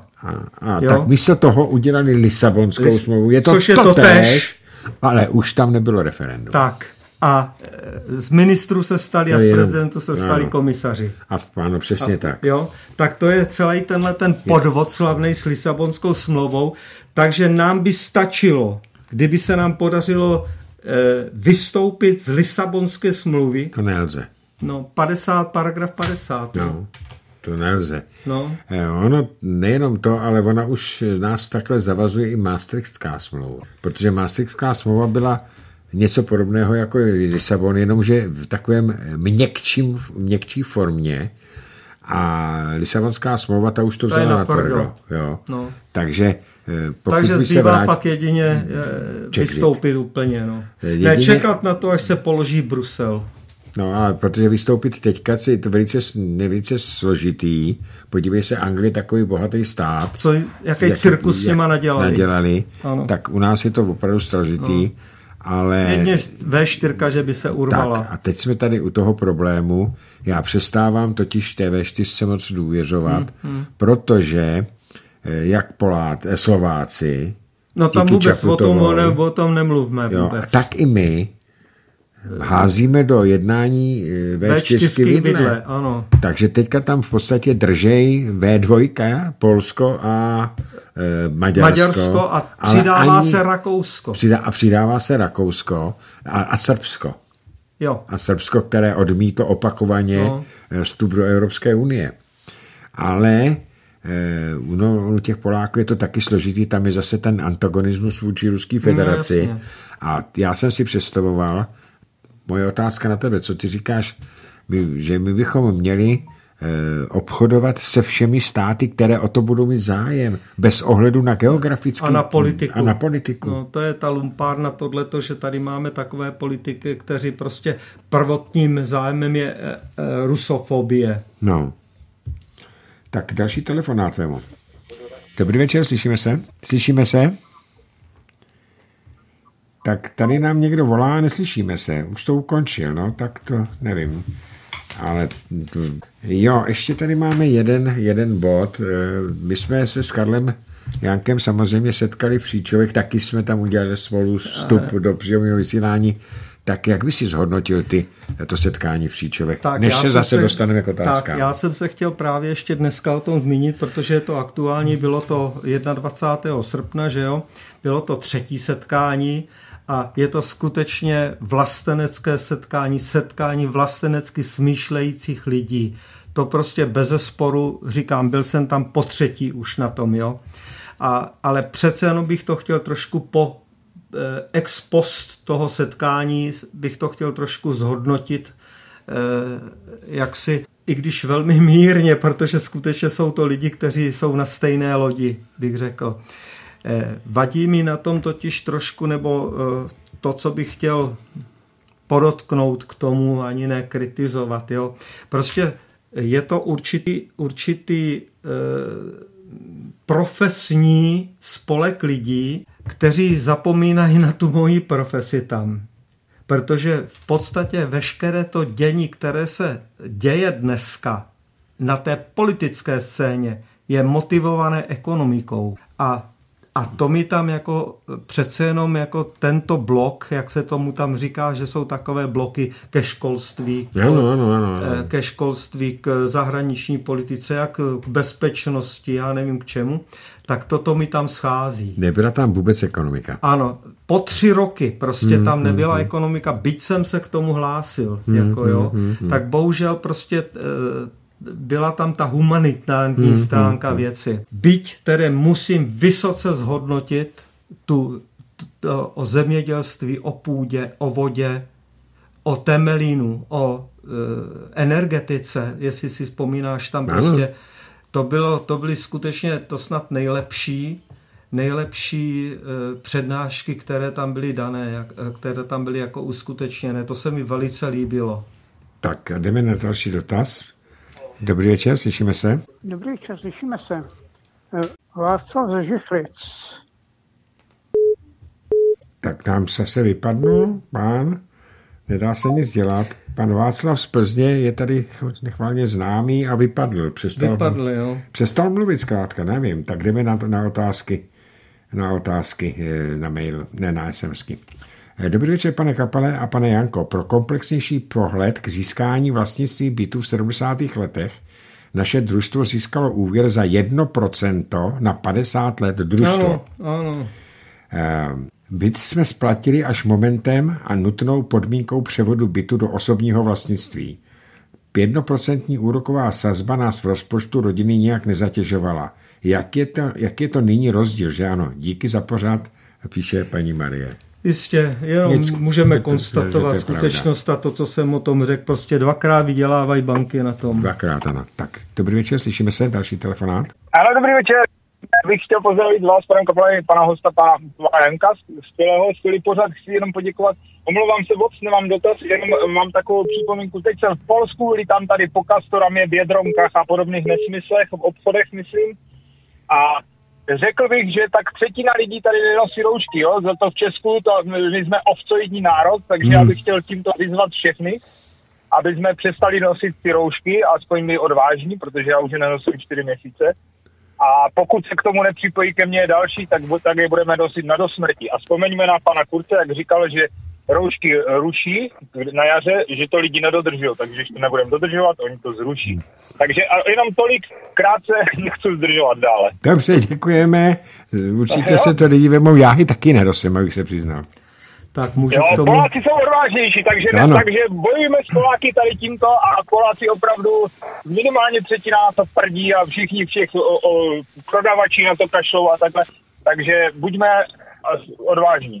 Ano, díky, díky, naschle. Prosím vás, jednu, jednu eh, poznámku k tomu krátkou. Já jsem se o, o tom zmiňoval, že ta, ta, ten COVID má tu zdravotnickou, ekonomickou a sociální ten aspekt, tu, tu rovinu, ano. Já jsem také odpírač v podstatě. Chodím kam chci, kdy chci, ale to moje stanovisko od toho loňského jara už je následující. Eh, obrátit to, já chráním tebe, ty chráníš mě, já musím chránit sebe. Ať se každý chrání, jak chce a čím chce. Ať se chrání deseti rouškama, ať zaleze do sklepu, ať zaleze nevím kam. Ať se nechá desetkrát očkovat. Ano, ať se nechá, já říkám, opíchat, jo. A e, byť by měl chodit v plynový masce nebo v atom bordelu, jak já tomu říkám. Takže to je tohleto přenes na tu osobu, protože ví, jestli, jsem, jestli ta, ten každý ten člověk, jaký má neduhy nebo co má za problémy zdravotní, ať se každý chrání, jak uzná za vhodný, ale nevnucuje nám to. Nevnucuje nám ani roušky, nosím, myslím si, že tak maximálně v městské pražské dopravě je to nutný, jo? ale jinak ani to ne. A Eh, očkovat jenom dobrovolně. A trestuhodný, naprosto trestuhodný je to očkování dětí, protože nevíme, co to geneticky s nimi udělá. Tak jdeme na další dotaz. Tady ještě píše paní Marie, reakce ještě k ničení orné půdy. Na orné, pů, na úrné, orné půdě úrodné hané rostou fotovoltaiky jedna vedle druhé. Chudák král ječmínek ten by asi plakal, říká paní Marie. No to, A co to si spískala vláda v roce 2005, nebo kdy se to začalo stavět, že? No, tak to no, je další a ještě, svinstvo. ještě navíc prostě ty výkup, ty eh, dotační, dot, dotované výkupy, ty elektřiny, no prostě to je kšeft, další kšeft, který... Tenkrát to podepsal a prosadil eh, pan ministr životního prostředí Bursík prosadil, že se na 30 let bude platit šílený no, peníze těm, foto, no jasně. eh, další, fotovoltaickým další baronům. Jo, další zelený darebák. Tak, tak eh, další otázku tady vemu. Te, te, teď telefon vemu tady. Dobrý večer, slyšíme se? Eh, dobrý večer, pánové, Honza z Prahy. Jenom bych eh, chtěl říct poznámku, může host klidně zareagovat. Mám první, teďka mám vlastně, jak bych to řekl, debit, eh, léčím očkovaného. A dal jsem že jo, léky podle pana Berana a ještě jsem to skombinoval s panem Bukovským a čtvrtý den už začíná pán znova cítit. Ten zinek účinkuje. Mm-hmm. Vy jste lékař. Děkuji, nashledanou. Nashledanou. Asi jo. Asi to je lékař, ale takže já jsem, reaguj. Ne, já jsem jak si předeslal, že se nebudu vyjadřovat, byť mám bohaté zdroje informací, tak prostě tady, tady uh, mám zákaz takový. Necháš to zkrátka na odborníky, nejsi Ano, ano, ano. Já jenom Budu se vyjadřovat pouze ke statistice tak, já to můžu říct. Ty to můžeš říct. Jedná se o to, že vemte si jenom, jak teď eh, příklad, příklad, eh, dva příklady krátce. Nemocnice u svaté Ani v Brně. Léčil se ten, mm, nevím, jak se jmenoval ten lékař, jen ty věna vypadají, léčil ivermektinem. Ano, ivermektinem Neměl léčili. tam žádné úmrtí, všechno to vyléčil. Eh, druhý případ, eh, prezident, ex-prezident Klaus, okamžitě po tom, jak byl infikován covidem, nasadili mu jeho lékaři nejdřív izopinosin, potom ivermektin a za tři dny, jak sám uváděl, za tři, čtyři dny byl z toho venku. Teď jsem se dočetl nedávno, že ivermektin eh, už se nebude smět aplikovat, protože prý mu skončila expirační doba. Ano. No samozřejmě. V srpnu. Takže podívejme se na to, co se tady děje za svinstvo. Je normálně logické, že při každém onemocnění, i virovém, i epidemickém, se nejdříve pacienti léčí a poté se vakcinují. A tady se to dělalo v obrácně. Pacienti se neléčili. Já jsem měl, už to tady ani nebudu říkat, ale když jsem zvolal lékaři, že mám covid a že mi je opravdu blbě, protože jsem přestal čejtit a hmm. chuť úplně a naprosto. Ano, ano. No tak co mi řekli? Co mi řekli? To jsem ještě nevěděl o isoponesinu, že jsem to měl brzo. Paralen, kapky na kašel, hodně pít, ležet. Takže jsem v podstatě ten covid překonal bez léků. Hmm. Teprve poté jsem si začal schánět ty, ty léky, abych tady měl, kdyby náhodou, tak tady máme ten izopinosin nebo neosin a e, aplikovali bychom to. Takže to je to svinstvo, které se tady dělo. Vůbec se to neléčilo a léky se zakazovaly. No, e, není, to, není to informace lékařská, ale ta, e, ta nemocnice u svatý Ani totiž nakoupila velké množství a protože to Evropská komise neuznala jako lék na COVID, tak to rozeslali po republice. Mezitím to totiž ztratilo expiraci, hmm, hmm, hmm, takže hmm, se to stahovalo jako na zpátek a, a ještě k tomu pro předepsání toho léku byly určitý podmínky. Ano, ano, ano. Jo, ano. nějaký prostě sledovací a prostě výzkumný bych řekl, ale to je mimo moji. Tak eh, další telefonát, dobrý večer. Dobrý večer, já vás oba dva srdečně zdravím, pane Kapale i pana Janka. Eh, jenom jsem se chtěl zeptat pana Janka, jestli něco ví, protože tam o tom padla zmínka o osudu pana Miroslava Dolejšího. Eh, víte, já mám ten jeho sešit do dneška doma a mě to taky otevřelo oči. Jmenuje se to Analýza 17. No, listopadu. Jistě, no, jistě, ano.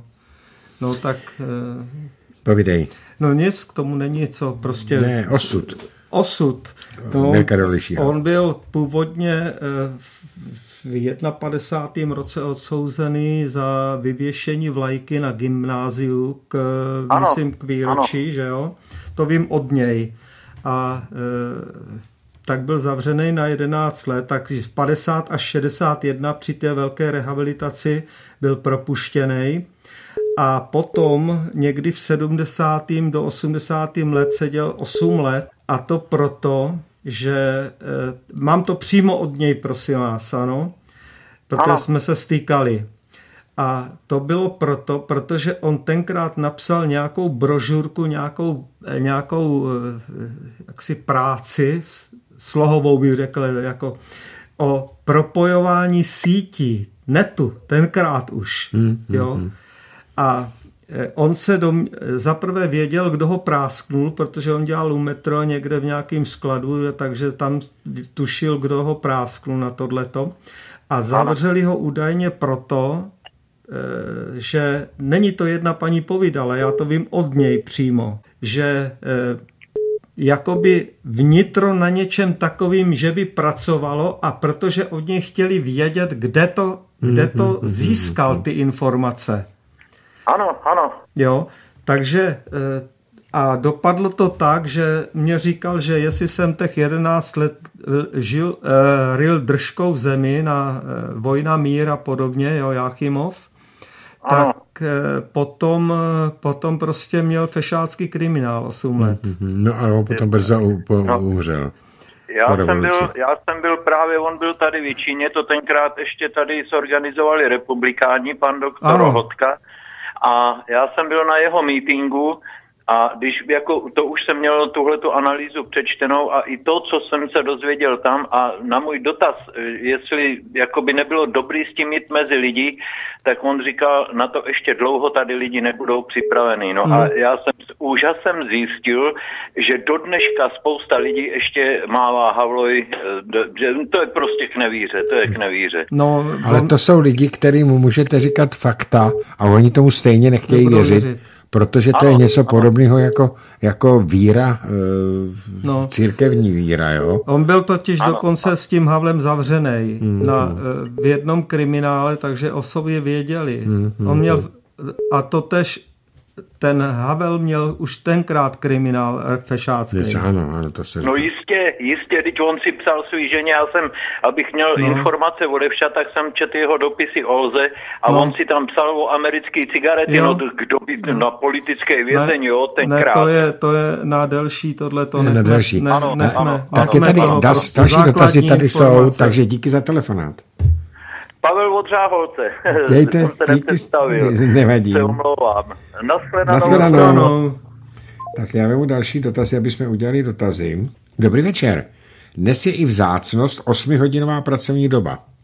Lidé nemají ani čas na své osobní volno, i to vypovídá o nynější kvalitě života, píše Ivana, paní posluchačka Ivana. Mm-hmm. Je, je to pravda a musím říct, že eh, v podstatě, že to je neskutečné, co si všechno lidi nechají líbit. Ale, ano, ale Karle, opak, je, opak bude pravdou. Oni totiž ti lidem nic jiného nezbývá. No. Zatímco minulý režim zavíral, tenhle ten lidi připravuje o živobytí, o práci. No, tady, eh, tady podle mého, posledně jsem o tom mluvil, to, že v podstatě ta produktivita práce je tak vysoká, že budou stačit čtyři dny, tři dny, tři a půl dne, čty, prostě pracovní na to, aby se eh, uspokojili i ty omezené potřeby obyvatelstva. To je Já bych ta, to takhle řekl. To je ta revoluce 4.0. No. no. no. Eh, tak eh, další. Eh, dobrý večer všem. Chtěla bych se zeptat, pánové, za komunismu se mluvilo přece o všelidovém hlasování. To už neplatí vůbec? Asi je to už mimo takový dotaz, píše Emma. Všelidové hlasování se používalo za komunistů v, při formě při, vol, při, vol, při volbách. A v podstatě volby jsou takovým způsobem referenda. Ale nevím o tom, že by za komunismu, tedy za socialismu, že komunismus tady nebyl a nikde nebyl na světě, takže by tady bylo uzákoněno všelidové hlasování, o tom nevím. Hmm, já to se o tom akorát, to, toto, to, to tento se, pojem se nějak používal. Při ale, volbách. No, no, ale to by muselo být aklamační. No, hlasování. Ne, ne, nevím, ale při vol, vol, nevím, volby, nevím. Já ne, jsem to, já jsem ne, to nevím, že by to bylo uzákoněné. Tady se nebudu pouštět do... No, nevím to, nevím, že by to bylo uzákoněné. Tak další dotaz, máme se tam toto. Eh, dobrý večer, Ivermectin jsem objednal z Maďarska a došel. Izopinosin na jaře z Polska zafungoval výborně. Zítra jdeme na protilátky, končí ochrana lhůta, tak aby nikdo neměl důvod k obvinění z roznášení. Píše Petr z Dětkase. No jasně. Tak to je velice přejeme rozumné. Vám, ano, přejeme, přejeme vám, vám hodně eh, protilátek. protilátek a, a zdraví. Protože je to dobrý. Já mám poslední telefonát. Tak eh, dobrý no večer. Jo, končíme. Pane už. Kapal, ještě jednou Jarka, já vám chci říct jednu věc, prosím vás. Já jsem viděla v, te, v televizi, nevím ve které, ukazovali spermiogram mužů, kteří prošli covidem a ukazovali deformaci spermií a mrtví, kolik jich je. Ten lékař vyslovil teda, ehm, řekla bych, naději, že mělo by se to do půl roku spravit.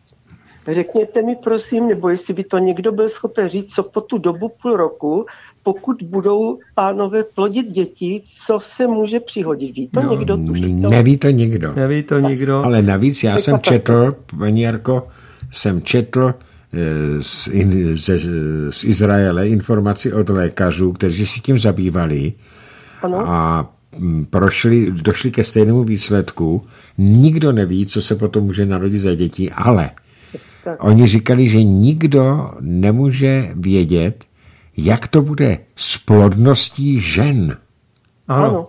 ano. To bude ano. ještě horší, protože se tam vyskytla, eh, a říkám, je to, jsou to informace z Izraele, že se tam vyskytly už teď případy, že ty těhotné ženy, které byly oočkovány Pfizerem, takže to nedonosí a potratí. No, potr- eh, mohu, mohu, se, mohu porušit tu moji zásadu. Paruš, paruš. Jednu krátkou větu způsobuje to ten oxid grafenu. Ano, ano. Mm, mm, mm, mm. Ale říkám, že řekl, vyslovil naději, že by se to mohlo Mohla. spravit do půl roku. Pokud se budou znovu očkovat, pokud budou znovu vakcinace, poslouchala jsem teď 31. paní Pekovu, měla teda jako rozhovor, dala, Eh, ona vstupuje do nějakého hnutí švýcarská demokracie. No, ano, vím, jsme o tom tady hovořili.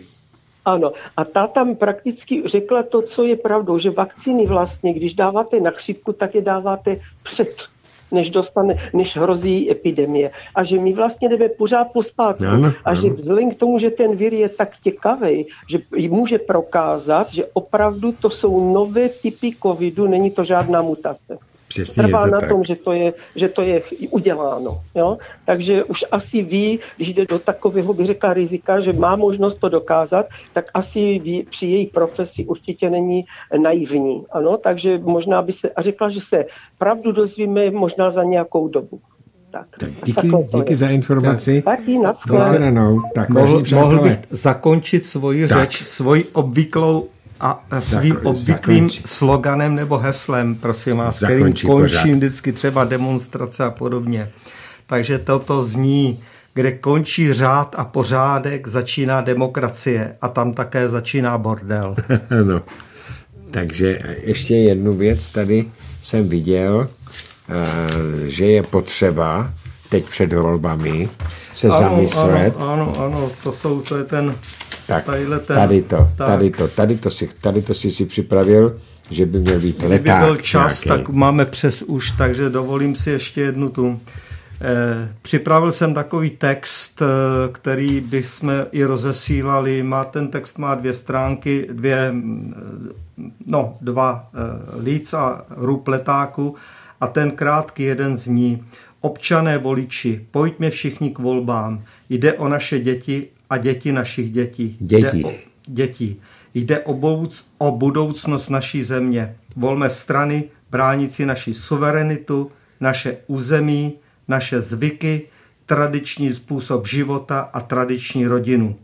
Požadujeme zavedení všeobecného referenda, trestní odpovědnost politiků a soudců a zrušení dotací všem politickým neziskovkám. Česká republika především volte SPD.